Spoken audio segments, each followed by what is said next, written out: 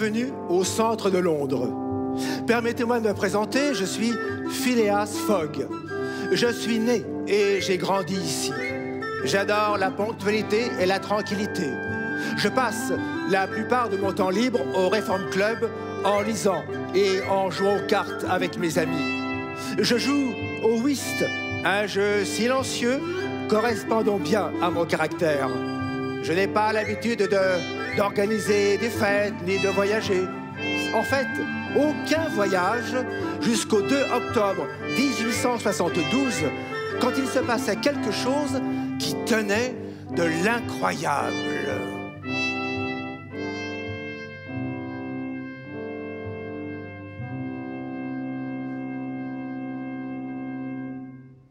Je m'étais rendu, comme chaque jour, au Reform Club, où j'avais déjeuné et passé l'après-midi plongé dans la lecture des journaux. Vers le soir, arrivèrent des amis qui étaient, tout comme moi, joueurs acharnés de whist. L'ingénieur Andrew Stewart, les banquiers John Sullivan et Samuel Fallentin, le fabricant de bière Thomas Flanagan et Gauthier Ralph, un des administrateurs de la Banque d'Angleterre. Ils commencèrent immédiatement à discuter d'un gros vol qui s'était déroulé la veille au soir. Il paraît que le voleur n'est pas un voyou, mais au contraire un gentleman bien habillé et de bonne manière. Il a réussi à escamoter de la table du caissier une liasse de billets du banque pendant que celui-ci était occupé. Pensez un peu, 55 000 livres, une somme énorme. Je ne crois pas qu'on le retrouvera. Un homme très habile, et la terre est si grande. Qui sait où il se cache? Le monde n'est pas si immense que ça, rétorquai-je. Il fut un temps où il était peut-être, mais désormais tout a changé. J'ai lu dans un livre que 80 jours suffisent à présent pour faire le tour complet de la Terre. Mes amis, de s'esclaffer. Impossible Impossible ah, Mais j'y parviendrai. Je parie 20 000 livres que j'y parviendrai. Mais à présent, messieurs, terminons notre partie. Le train pour Douvres part ce soir à 8h45 et c'est précisément celui que je prendrai. Personne n'eut le courage d'empêcher ce défi. Tous prirent part au pari. Le tour du monde en 80 jours. N'est-ce pas une chose inouïe? Juste avant 8 heures, j'avisais Passepartout, le majordome français que je venais d'engager, à préparer les bagages avec l'indispensable pour partir. Deux chemises et trois paires de chaussettes.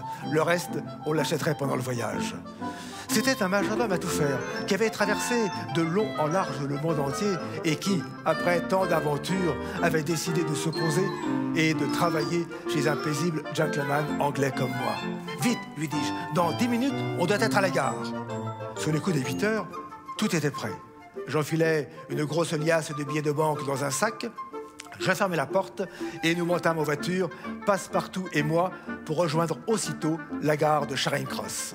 Là, je retrouvais mes amis du Reform Club venus pour me saluer. Messieurs, je pars avec mon majordome. À mon retour, vous pourrez contrôler mon itinéraire par les visas qui auront été apposés sur mon passeport. Bonne chance, hein Peu après, à 8h45, le train démarra.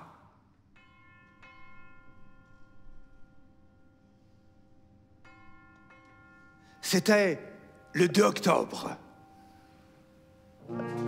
Le pari était lancé. 80 jours pour faire le tour du monde. J'aurais dû être de retour à Londres le 21 décembre 1872 à 8h45.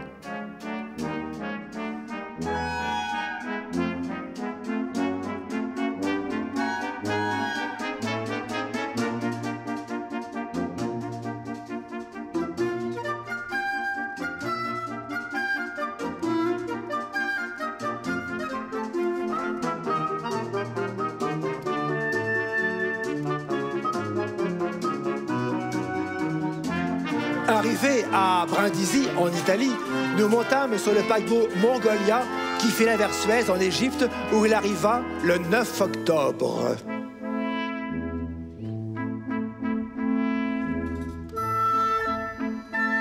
Là, un agent de police nommé Fix arpentait le quai comme attendant quelqu'un. Plus tard, j'allais découvrir que c'est nous qui l'attendions, me soupçonnant d'être le responsable du vol de la Banque d'Angleterre.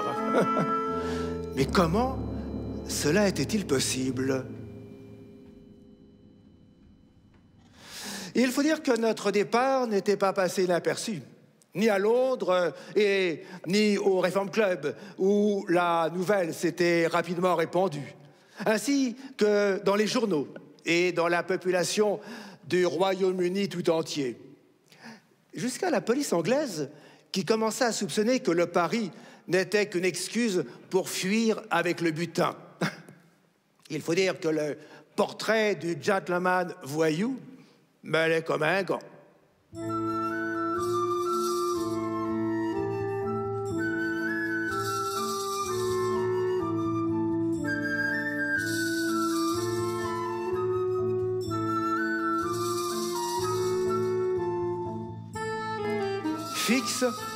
Suivi Passepartout qui débarqua pour faire quelques achats et qui, séduit par l'extrême politesse de l'agent, lui confia certains détails sur notre voyage, comme le fait d'avoir quitté Londres en toute hâte, n'emportant avec nous que quelques affaires, ainsi qu'une grosse somme d'argent.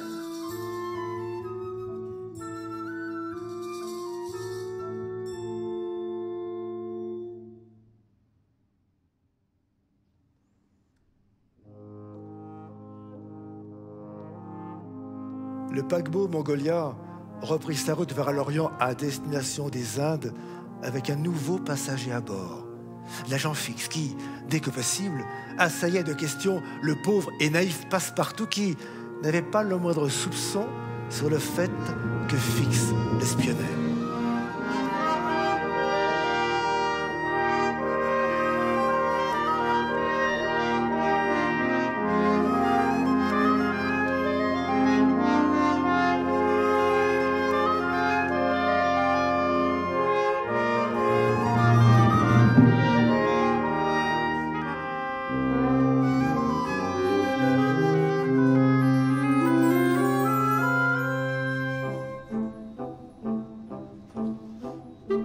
Passepartout bavardait longuement avec Fix, tandis que j'avais repris mes habitudes londoniennes en jouant au whist avec quelques passagers du bateau.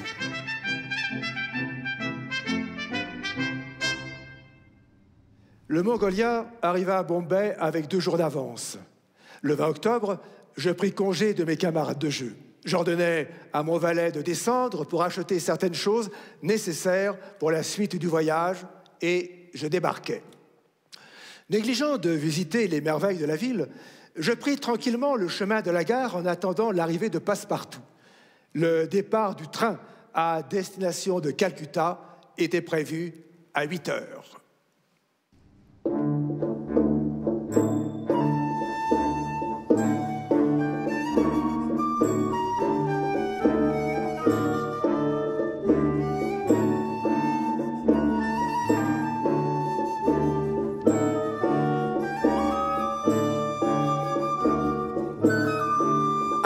Train était sur le point d'entrer en gare, je vis Passepartout courir vers moi. Ah, excusez-moi, monsieur, mais tandis que je me promenais, j'ai remarqué un magnifique temple hindou et je n'ai pas pu résister à la tentation d'y jeter un coup d'œil. Euh, malheureusement, je ne pouvais pas savoir que l'entrée est interdite à qui n'est pas hindouiste. Et pour cette raison, j'ai été agressé par trois énergumènes. Par chance, j'ai réussi à me sauver.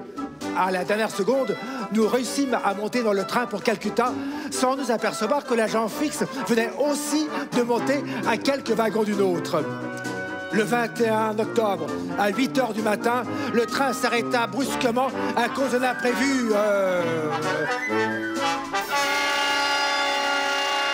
Un imprévu imprévu Il n'y avait plus de rail.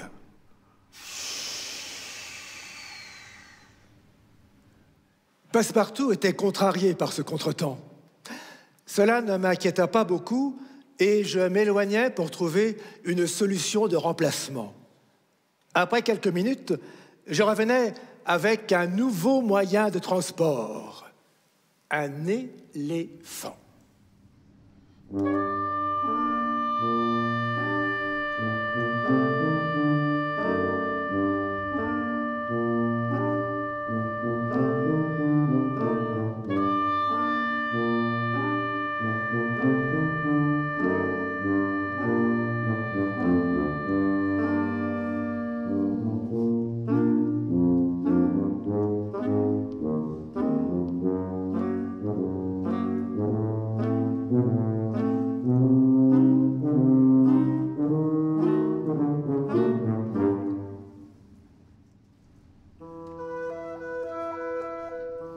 Soir-là, nous campâmes dans la forêt. Quelle sensation bizarre. On n'entendait aucun bruit. Pas âme qui vive à part nous.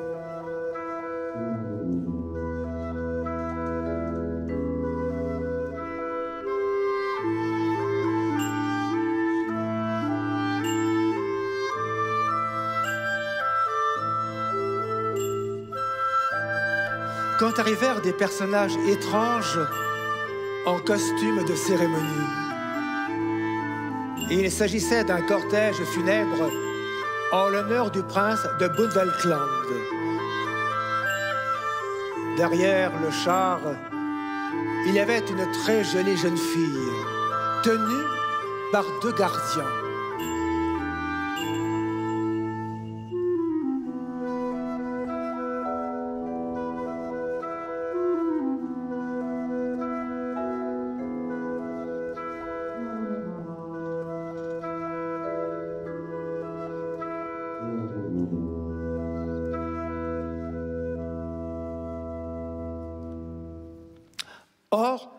Selon la tradition indienne, elle aussi devait être sacrifiée en brûlant à côté du corps de feu son époux.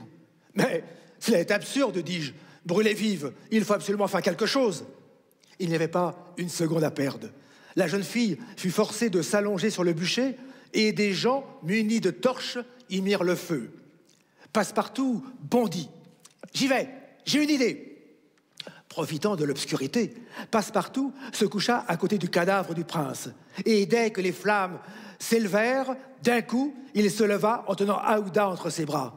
Un cri de terreur s'éleva de la foule. Le mort s'est levé, hurla-t-elle, prenant Passepartout pour le prince. Vous imaginez quel fut le tohu et cela nous permit de nous sauver et de rejoindre notre éléphant.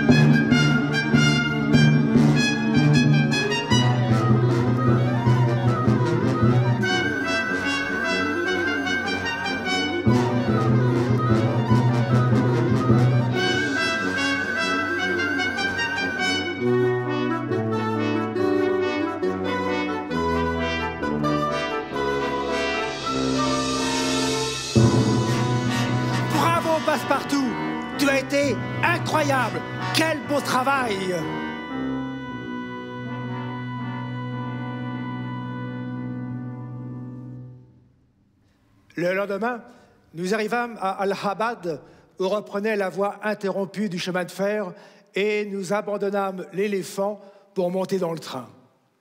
Entre-temps, Aouda avait repris ses esprits.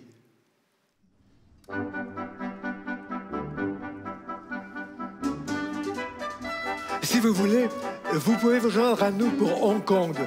Je ne vous laisserai pas toute seule ici aux Indes. Cela serait trop dangereux pour vous. Je vous suis très reconnaissante, monsieur. À Hong Kong, j'ai un oncle qui sera heureux de m'accueillir.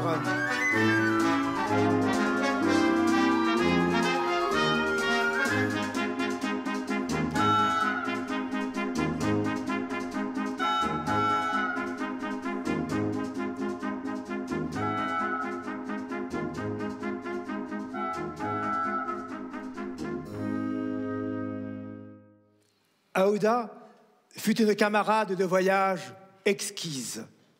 Le train arriva à Calcutta le lendemain matin. Un homme en uniforme vint à notre rencontre. Mister Phileas Fogg, et vous, êtes-vous bien passe-partout? Que vous le croyez ou non, il était là pour nous arrêter. La raison? C'était encore pour l'incident du temple que Passepartout avait involontairement profané. Les énergumènes, non contents d'avoir agressé Passepartout, l'avaient aussi dénoncé. Mais nous ne pouvions pas savoir que derrière tout cela, il y avait la patte de l'agent fixe. Il voulait nous retenir autant que possible à Calcutta pour permettre à la police anglaise de faire parvenir un mandat d'arrêt. Devant le juge, je m'excusais au nom de Passepartout et je demandais quel était le montant de la caution. Comme vous voudrez, mais cela vous coûtera très très cher. Mille livres. Je payais et nous fûmes relâchés immédiatement. Fix était déçu, car il avait, une fois encore, laissé filer sa proie.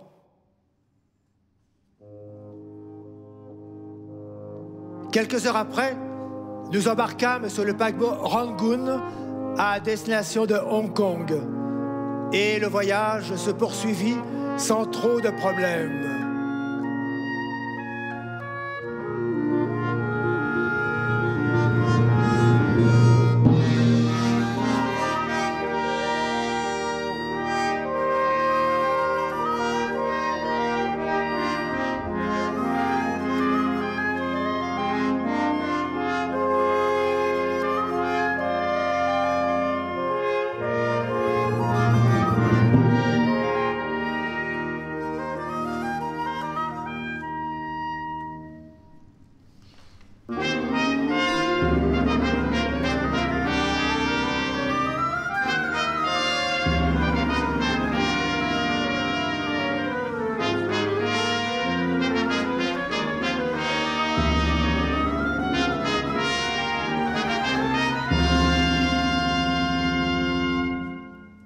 Une fois arrivés à Hong Kong, nous nous rendîmes à l'hôtel.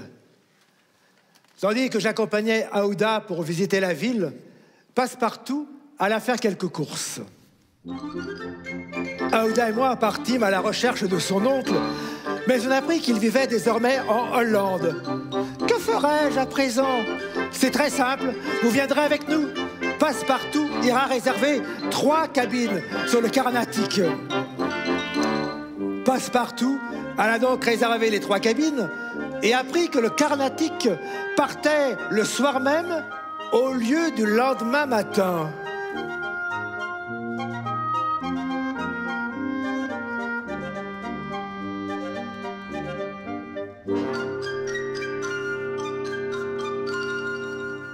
Passepartout se retourna et aperçut Fix. Il pensa que les membres du club de Londres avait chargé Fix de me contrôler et décida d'en avoir le cœur net. Mais Fix, rusé, l'invita à le suivre dans une auberge. Je vais vous confier un secret. Phileas Fogg est le voleur qui a cambriolé la Banque d'Angleterre. Je suis là pour l'arrêter. Mais, mais, mais ce n'est pas possible. Mon patron n'a pas pu faire une chose pareille. Je, je ne vous crois pas. Faites-moi confiance, monsieur Passepartout. Je suis un agent de la police de sa très gracieuse majesté et vous devez m'aider à capturer Mr. Fogg. Jamais, jamais je ne ferai rien contre mon patron.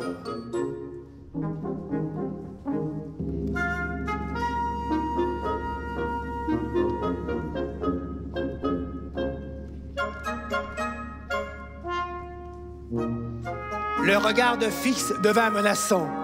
Et Passepartout allait déjà se lever pour venir me prévenir. Mais Fix avait commandé une boisson bizarre et Passepartout, pendant la discussion, en avait bu une gorgée.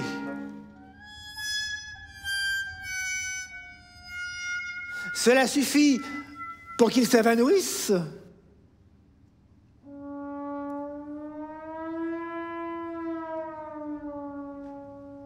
Et s'écroule.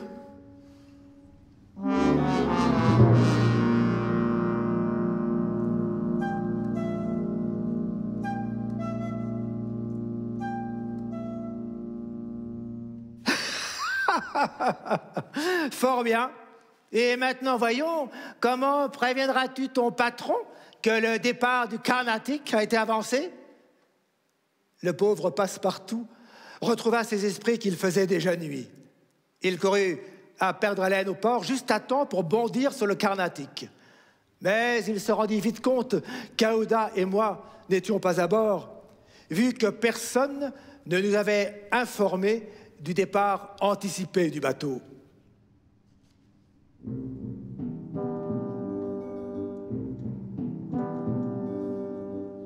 Le lendemain matin, Aouda et moi allâmes au quai, attendant en vain passe-partout. Là, on nous informa que le Carnatic avait appareillé la veille au soir. Après avoir en vain prospecté un navire, un marin s'approcha de nous. Vous cherchez un bateau, monsieur? Oui. Et qu'il soit prêt à partir. J'ai raté le Carnatic et je dois être à Yokohama le 14 novembre pour m'embarquer pour San Francisco. Eh bien, vous pourrez prendre euh, le General Grant qui part de Shanghai. Je vous mènerai jusqu'à Shanghai avec ma goélette. Quand nous entendîmes une voix, Permettez-moi que je me joigne à vous. C'était de nouveau fixe. Je vous en prie, avec le plus grand plaisir.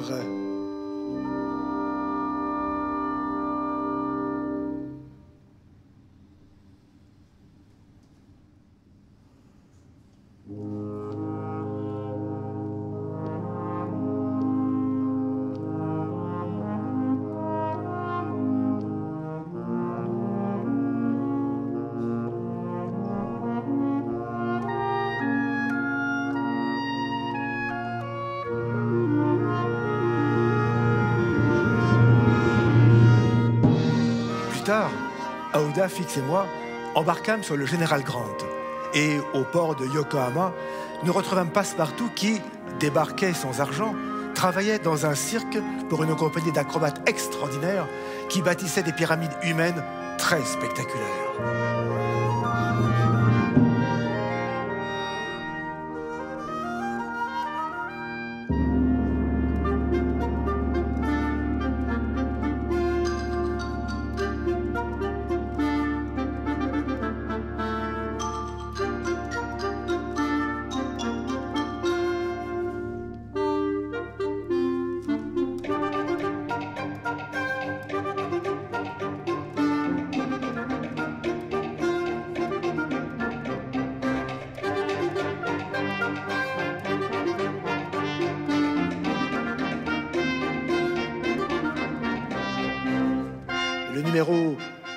Réussissait toujours.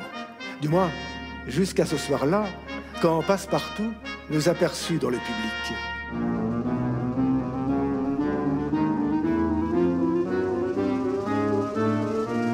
Mr. Fogg s'écria-t-il en quittant les acrobates et en courant vers nous. La pyramide s'ébranla dangereusement et s'écroula de toute sa hauteur comme un château de cartes, tandis que nous nous dirigions en hâte vers le port pour attraper le navire pour San Francisco.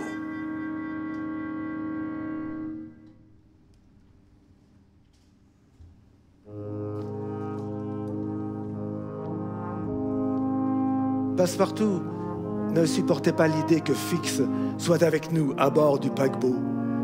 Il était très fâché contre lui suite à la révélation de l'auberge de Hong Kong.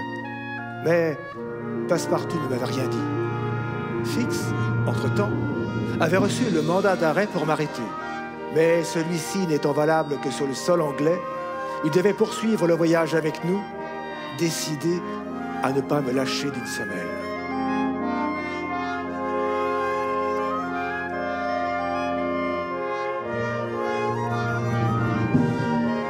Le 3 décembre, nous débarquâmes. Nous étions arrivés à San Francisco à l'heure.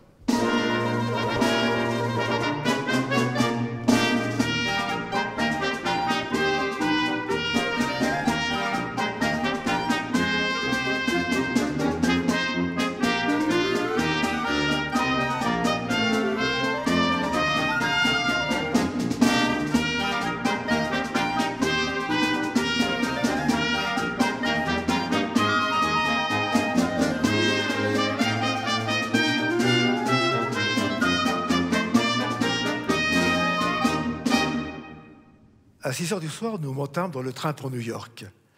Nous devions voyager à bord du Pacific Railway pour traverser d'ouest en est les États-Unis d'Amérique. La durée du voyage était normalement de 7 jours.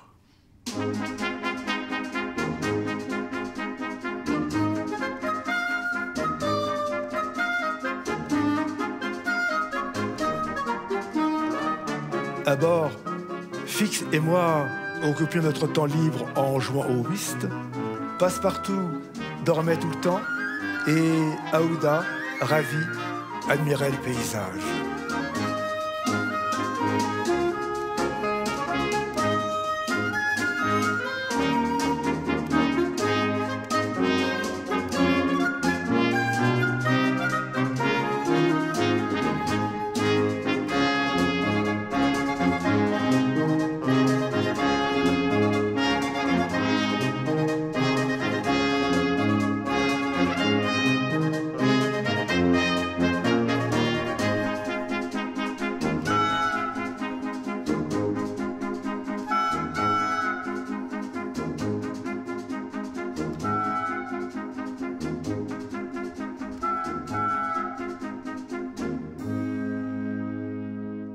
Quatrième jour, la locomotive s'arrêta net et le chef du train vint en disant Mais il n'y a pas moyen de passer. Le pont est instable et ne supporterait pas le poids du train.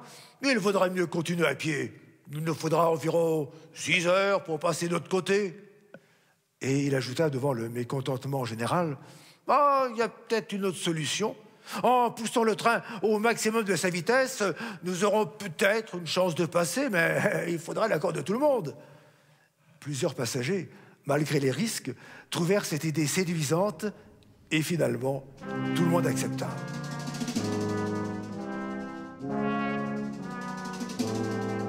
En sifflant, le train accéléra à toute vitesse sur le pont qui s'écroula immédiatement après notre passage dans un bruit épouvantable.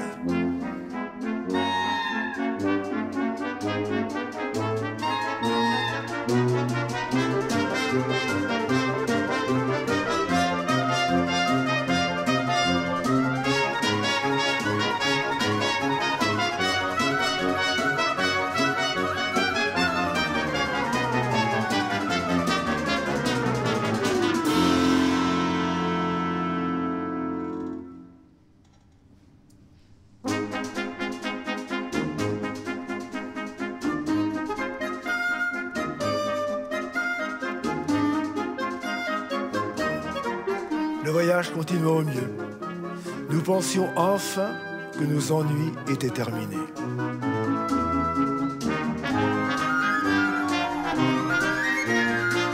Les nous attaquent cria un passager tandis que dehors, on entendait un vacarme de sabots et de cris sauvages. Avec mes compagnons de voyage, nous nous sommes barricadés en tirant à travers les fenêtres brisées.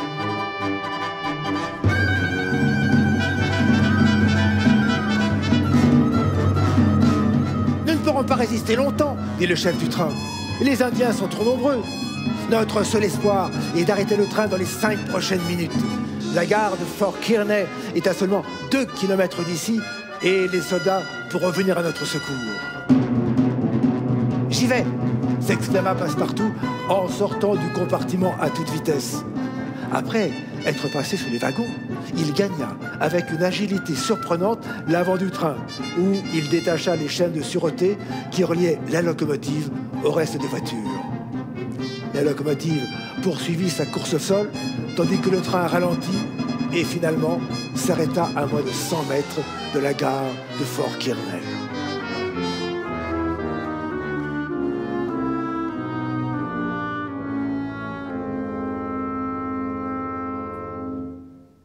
Malheureusement, dans la bagarre, avant qu'il ne puisse regagner notre compartiment, un Indien frappa à la tête Passepartout qui perdit connaissance.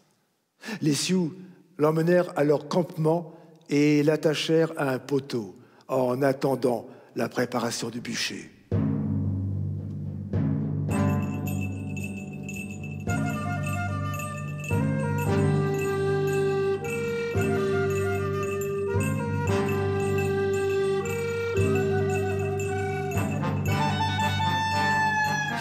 Ce moment, j'arrivais avec un escadron de soldats. Les Indiens se dispersèrent et ainsi je pus libérer Passepartout.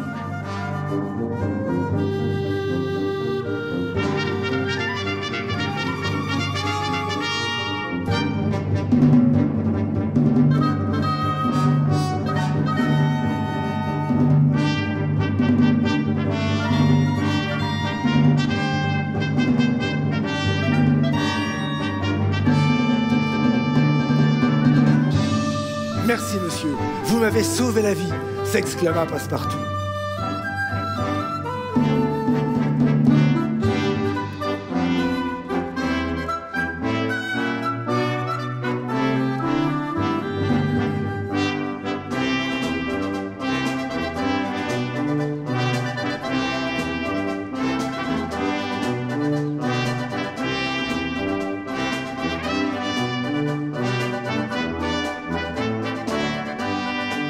Quelques heures de route, nous arrivâmes à la gare où Aouda et Fix nous attendaient.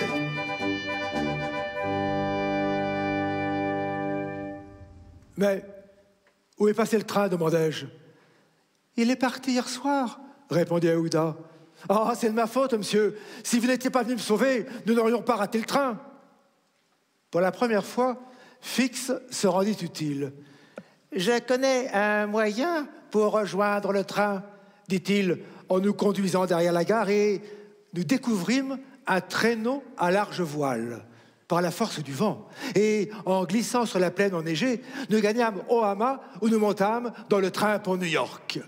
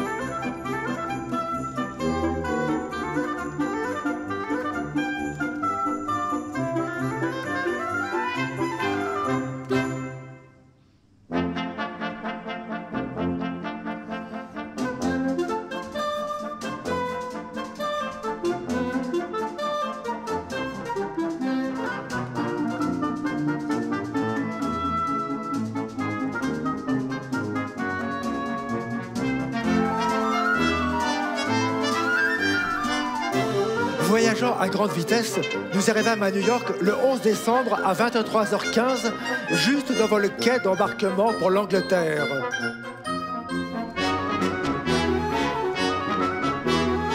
Hélas, nous apprîmes que le paquebot China avait quitté le port depuis trois quarts d'heure.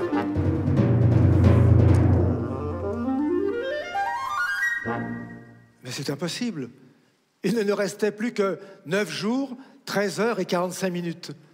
Et il nous fallait trouver aussitôt que possible une solution qui nous ramenait à la maison. Quand j'aperçus un navire de commerce.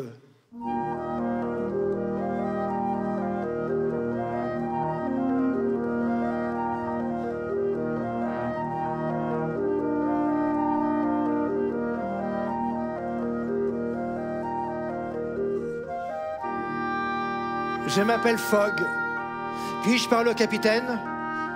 Je suis le capitaine. Je m'appelle Speedy. Je le priais de nous accompagner à Liverpool, mais le capitaine Speedy fit la sourde oreille. Alors je sortis du sac une liasse de billets de banque. Est-ce que cela est suffisant pour acheter le navire?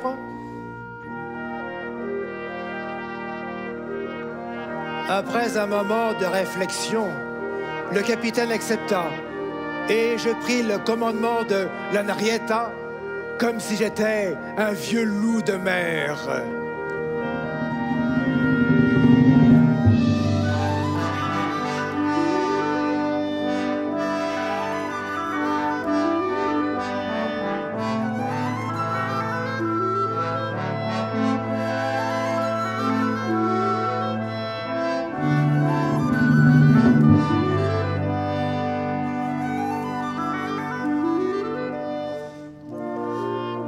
Que nous naviguions à grande vitesse, rêvant déjà à l'arrivée à Liverpool, un marin me rejoignit.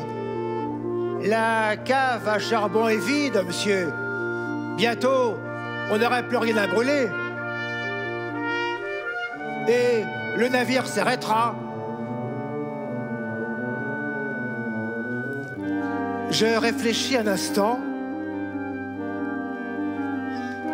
comme me vint une idée. Je réunis tout l'équipage et j'ordonnais démonter toutes les parties du navire en bois et utilisez-les pour alimenter le feu.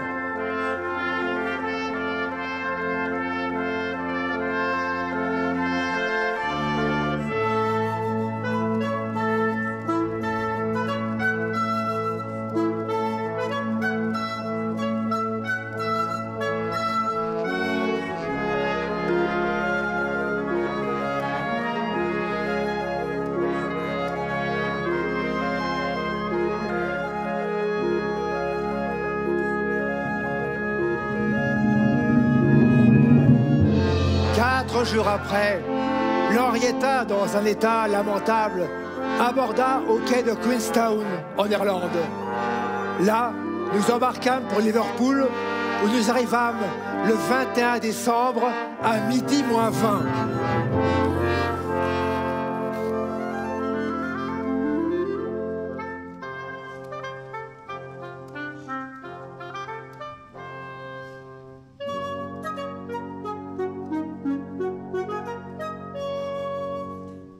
À ce moment, Fix s'exclama.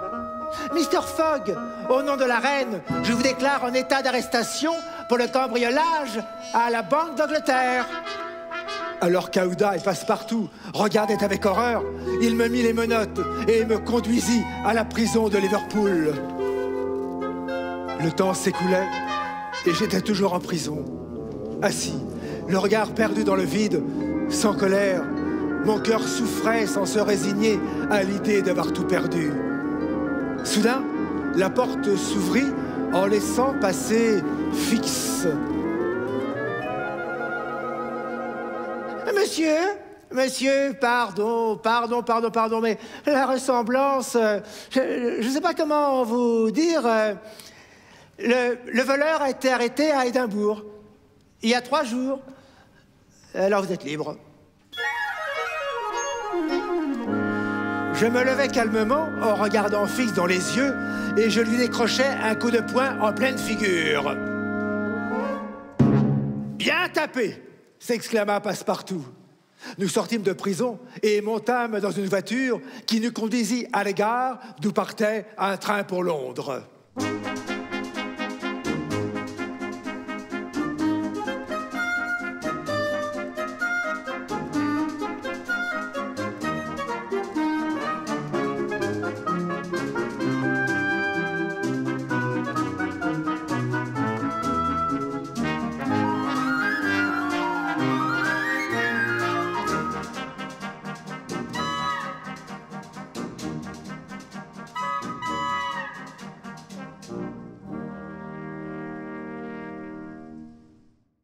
Quand le train arriva à destination, toutes les horloges de Londres affichaient la même heure, 9h moins 10.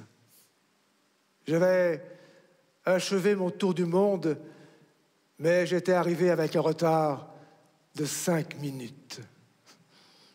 J'avais perdu mon pari.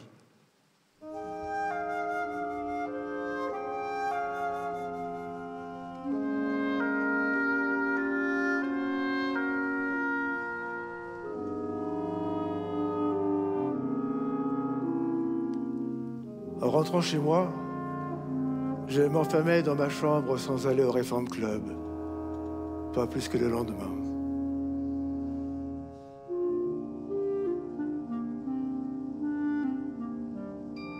Et à 7 heures du soir, je rejoignis Aouda dans la salle à manger.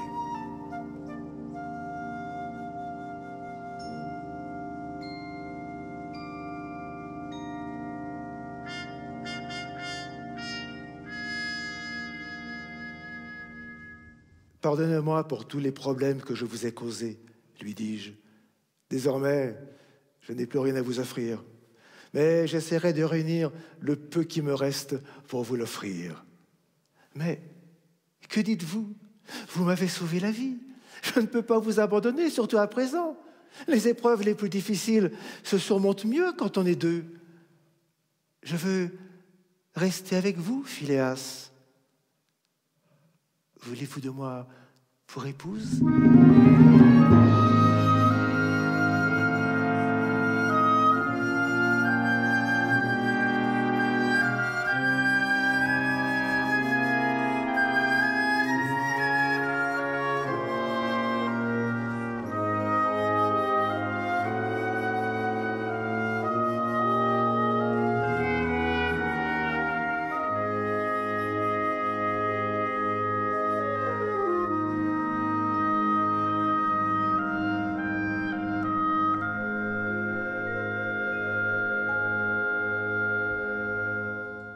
Pour la première fois, mon calme de parfait gentleman m'abandonnait et je tremblais comme une feuille. Mon cœur était si heureux que j'arrivais seulement à dire euh, Je vous aime, Aouda, je suis tout à vous. Passe-partout? Oui. Euh, va voir vite l'abbé Wilson et, et demande-lui si lundi matin il peut célébrer un mariage. Un mariage? Quel mariage? Ah, votre mariage, oui, oui, félicitations J'y cours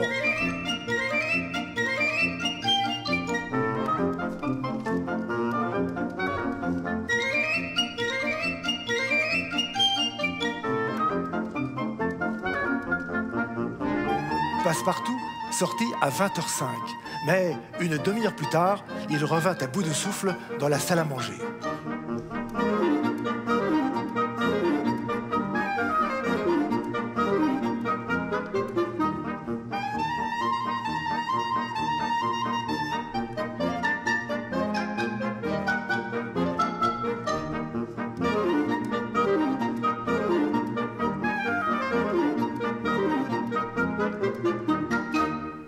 Monsieur, mais demain, mariage impossible. Demain, c'est dimanche. Bah, que dis-tu?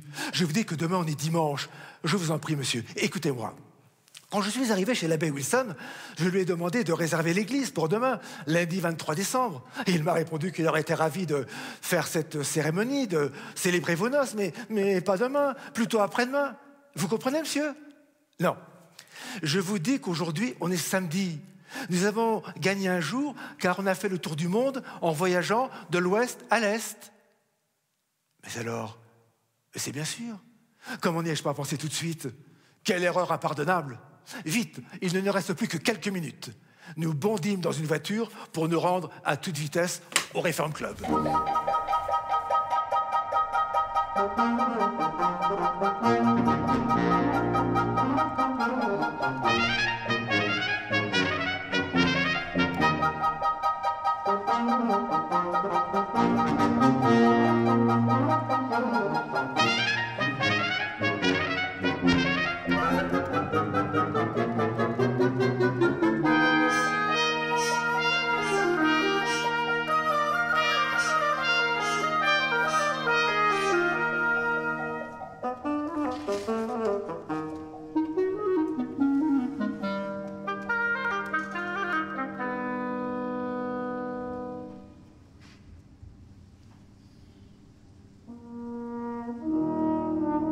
Au Reform Club, on attendait avec anxiété le résultat du pari.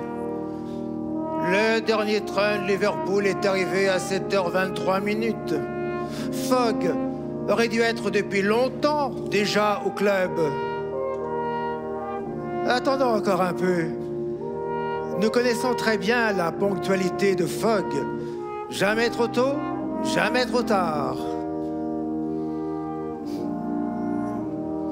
Non, non, non. Il a perdu. J'ai contrôlé la liste des passagers du China et le nom de Fogg n'y était pas. Et le China était le seul paquebot qui aurait pu arriver à temps à Londres. Cinq minutes. Cinq minutes. Et nous aurons gagné. Les cinq membres du Reform Club posèrent les cartes sur la table.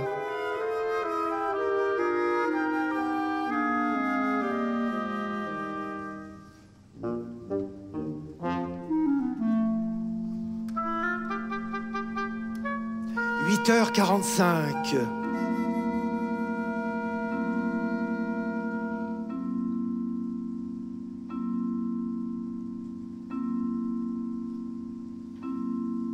quand la porte s'ouvrit toute grande.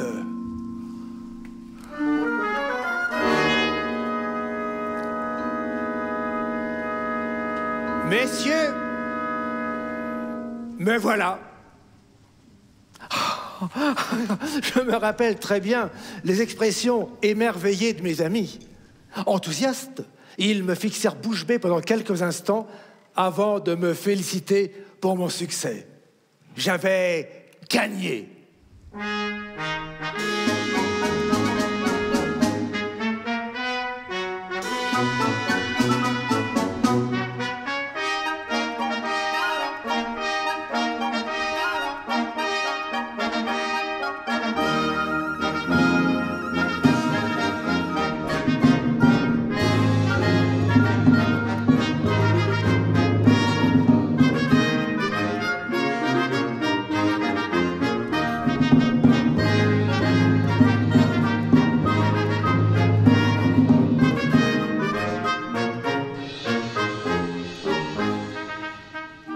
Voilà, j'espère ne pas vous avoir trop ennuyé avec mon histoire et avoir réussi à vous faire savourer ma victoire finale.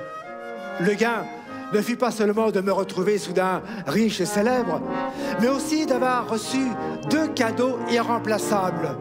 L'amitié sincère de Passepartout et l'amour de la belle Aouda. Cela ne vaut-il pas la peine de faire le tour du monde pour trouver de si précieuses richesses?